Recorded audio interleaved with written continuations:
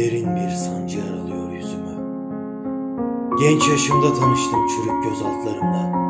Omuzlayamadığım sessizlikler içinde mahkum edildi yüzyıllarca sesim. Bir çığlık atmaya hasret, sadece dinlediğim yalnızlığın uğultusunu.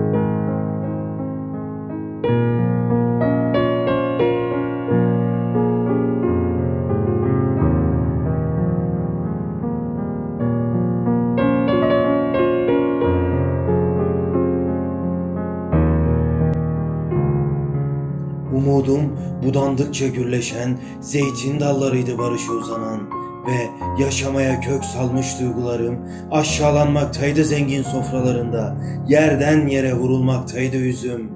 Yüzüm bir direnişin yüzüdür ve sevdam yeniden yeşermeye yemin etmiş bir hazanın son sözüdür.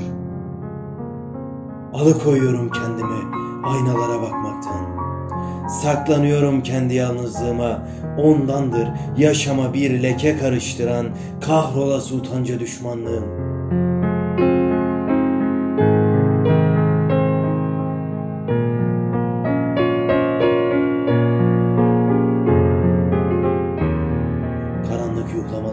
Yükseliyor ardımdan. Her adımımda bir isyan. Karanlığımı siyah gözlerinden aldım. Ondandır ürkütmüyor beni ne bu gece ne senin yüreğine yazamadığım ama kanla duvarlara yazılan adım. Senin uğruna itibarını yitirmiş bir adamım. Kanı değil mürekkep lekelerini bilirim. Ölümü her hatırladığımda sessizce irkilirim. Seni dilediğim mihraplardır tek ümidim.''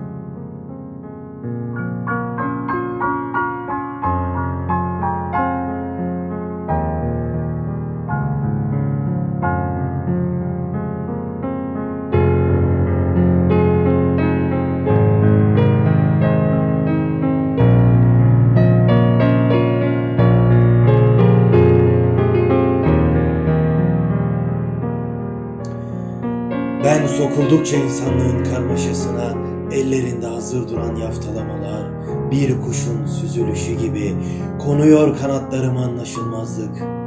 Bir ilmekle bağlanıyor hayatıma yalnızlık. Ve yaftalar yapışıyor bağrıma, köz düşürülüyor yürek ağrıma. İhanetin ve korkaklığın bekçisi değilim, sadece kendi dertlerime kulak vermedim. Yalnızlığım cesaretimdendir.'' Tüm insanlığın derdinin ağırlığıdır ezilmişliğim, ezilmişliğim halkımın ezilmişliğidir ve umutlarım yeniden okunmayı bekleyen bir kitabın son sözüdür.